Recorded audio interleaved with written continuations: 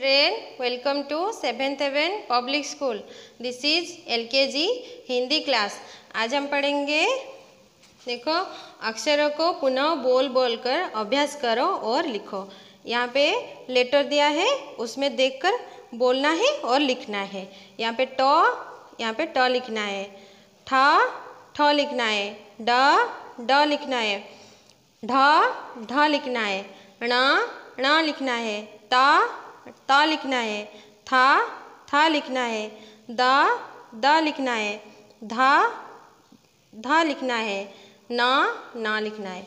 देखो, पढ़ो और लिखो। ये क्या है? ढ से ढक्कन, यहाँ पे ढ लिखना है। ड से डमरू, यहाँ पे ड लिखना है।